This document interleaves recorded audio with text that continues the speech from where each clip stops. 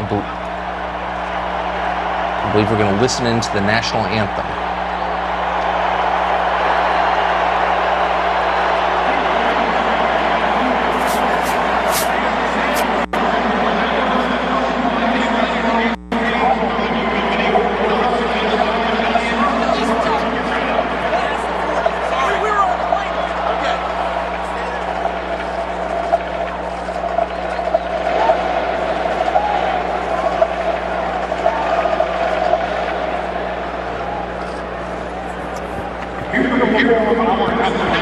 Accompanied by the inspirational voices of David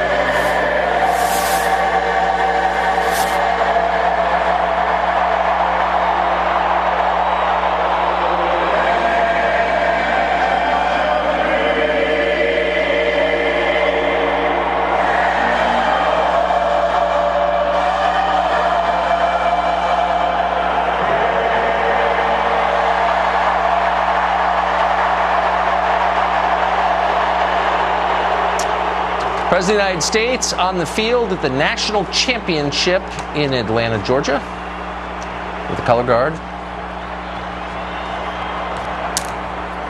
Of course, that was, needless to say, the national anthem, standing for it.